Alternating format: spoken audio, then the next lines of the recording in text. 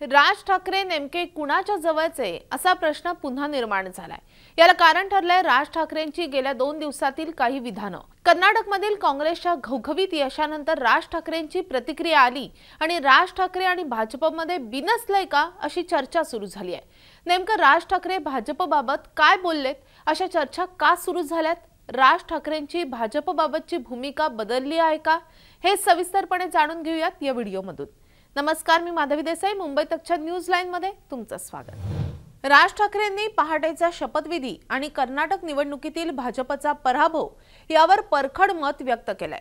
राज ठाकरेंनी नेमक्या कोणत्या शब्दामध्ये भाजपला सुनावले आपण पाहूयात. आहे. काँग्रेसची मुसंडी तिथे आपल्याला पाहायला मिळते.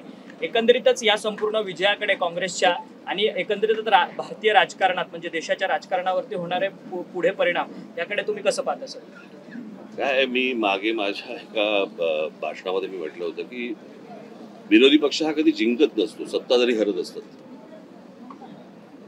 आणि मला असं वाटतं की हा पराभव हा स्वभावाचा पराभव आहे.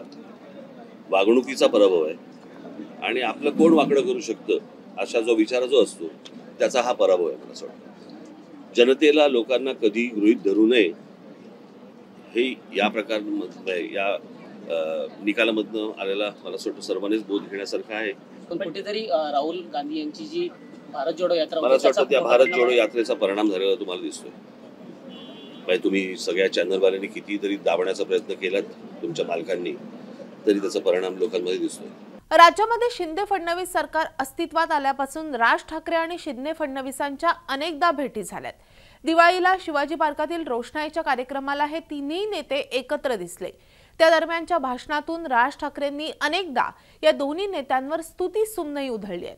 यावरून आगामी निवडणुकामध्ये हे तीनही पक्ष एकत्र येणार अशा शक्यता राजकीय वर्तुळामध्ये निर्माण झाल्या.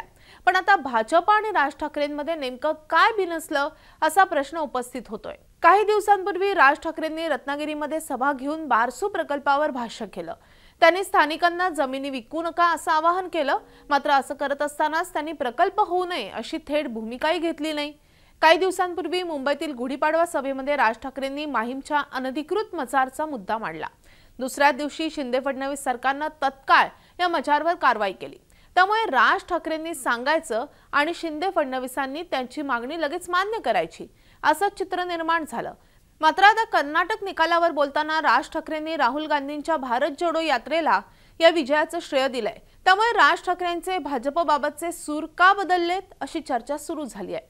साधारण दोन हजार अठरा एकोणीसमध्ये राज ठाकरे आणि शरद पवारांची जवळीक बरीच वाढली होती. हे दोन्ही नेते काही कार्यक्रमांच्या निमित्तानं एकत्र आले. राज ठाकरेंनी शरद पवारांची घेतलेली मुलाखतही बरीच गाजली. दोन हजार एकोणीसच्या लोकसभेला एकही उमेदवार उभा न करता राज ठाकरेंनी राज्यभर सभा घेऊन मोदींविरोधात जोरदार टीकेची झोड उठवली. लोकसभा निकालानंतर अनाकलनीय अशी प्रतिक्रिया देऊन ईव्हीएमवर त्यांनी शंका उपस्थित केली. विधानसभा निवडणुकीतही राज ठाकरे भाजप विरोधात बोलताना दिसले. पुढे निवडणुकीनंतर महाविकास आघाडी सरकार राज्यामध्ये अस्तित्वात आलं आणि राज ठाकरेंची पवारांबाबतची भूमिकाही बदलत गेली. त्यानंतर शिंदे फडणवीसांशी जवळीक वाढत असतानाच आता अचानक काय झालं असा प्रश्न उपस्थित होतोय. राज ठाकरेंच्या बदलत्या भूमिकांमुळे आता राज ठाकरे आगामी महापालिका विधानसभा आणि लोकसभा निवडणुकांच्या दृष्टीनं कुणाच्या बरोबर जाणार याविषयी संभ्रम निर्माण झालाय. त्यामुळे राज ठाकरे याशिवाय एकला चलोरेचीच भूमिका घेणार अशीही शक्यता आहे. भाजपची बी टीम असा शिक्का बसू लागल्यानं राज ठाकरे वेगळा विचार करतायत असंही विश्लेषकांचं म्हणणं आहे. एक तर पहिली गोष्ट अशी आहे की आता जे काही सुर- सर्वोच्च न्यायालयाचा निकाल आल्यानंतरचं चित्र स्पष्ट आहे हो, की आता ह्या सरकारच्या स्थिरतेबद्दलची जी काही चर्चा होती ती आता तूर्त तरी थांबलेली आहे.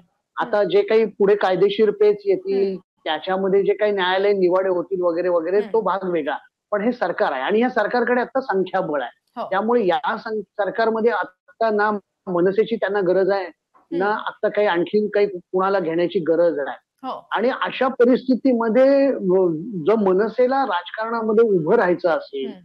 तर साहजिकच एक विरोधी पक्ष म्हणून प्रबळ भूमिका. घ्यावीच लागेल.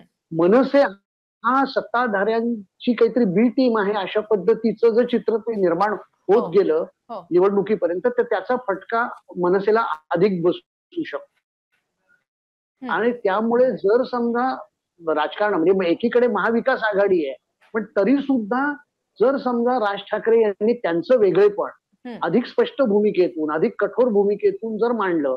आणि आपण ह्याही सरकारच्या बाबतीमध्ये आपण या सरकारला शरण नाही किंवा या सरकारचे बी टीम नाही. असं जर चित्र निर्माण केलं तर आणि तरच राज ठाकरे यांना त्यांची स्पेस काहीतरी निर्माण होऊ शकेल. तुम्हाला राज ठाकरेंच्या या भूमिकेविषयी काय वाटतं? राज ठाकरे आगामी काळामध्ये शिंदे फडणवीसांना साथ देणार की मवियाच्या जवळ जाणार का ते एकटेच निवडणूक लढवणार? तुमच्या प्रतिक्रिया कमेंट्सच्या माध्यमातून आमच्यापर्यंत नक्की पोहोचवा आणि अशाच माहितीपूर्ण व्हिडिओसाठी मुंबई तकला लाईक शेअर आणि सबस्क्राईब करायला विसरू नका. धन्यवाद.